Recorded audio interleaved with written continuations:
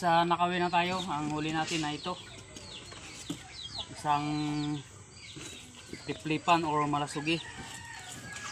Yan. Saka isang nilupin. Saka isang tulingan. Yan ang huli natin.